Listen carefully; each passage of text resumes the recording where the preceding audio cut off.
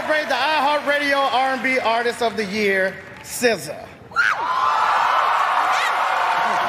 When SZA's sophomore album SOS dropped early last year, it spent an incredible 10 weeks at number one. And that, ladies and gentlemen, is also why tonight SZA is winning R&B Album of the Year as well. Oh my God, she's looking at us. Her hit single "Snooze" was on a mainstay on iHeartRadio for all of 2023. Now I'm nervous, which is a big reason why she's also winning R&B Song of the Year. Yeah, she is looking at us. It's crazy. You, can't look at, don't look her in her eyes. That's three iHeartRadio Music Awards. This girl is triple dipping. It's not fair. Let me get one of them. Which is why it should be no surprise that SZA is our R&B champion. I was definitely like scared to just like write. That's been really frustrating. You know, sometimes I just want to knock everything over on the table and just like start from scratch. Put that in my mind, safe to take a step out, get some air now. Finally, second studio album SOS dropped today. I can't wait till we hear this all across the world.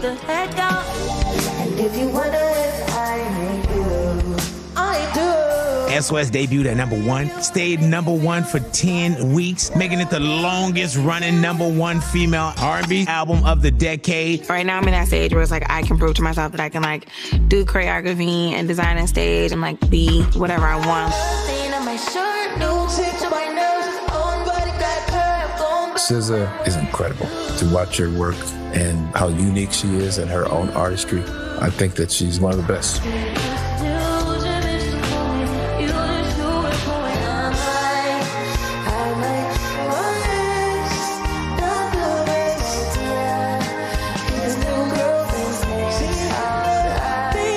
Enjoy myself. That's like my biggest goal right now is to like learn to enjoy myself and like be happy. I'm pretty proud you.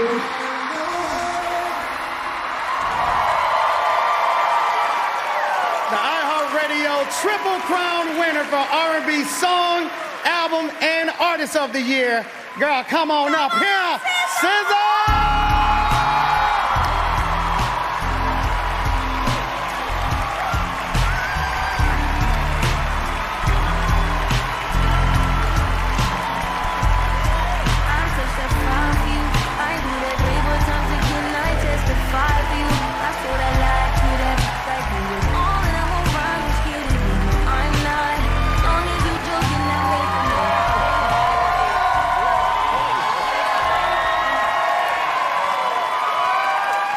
Hey, um, I love you too. Um, it's so funny. I was looking at Punch and I was like, wait, what is this? Where am I? Because there were so many people here and they sat me next to NSYNC and that was crazy. And I just wasn't prepared for, um, yeah. iHeart is, um, I guess I always saw other people like winning these awards and I'd be like, man, that's that that's that big stuff. That's that radio stuff. That's and i never had a radio record and i i wasn't a radio artist quote unquote but i'm really honored and i'm especially honored to have gotten here with punch. We've been together for 12 years.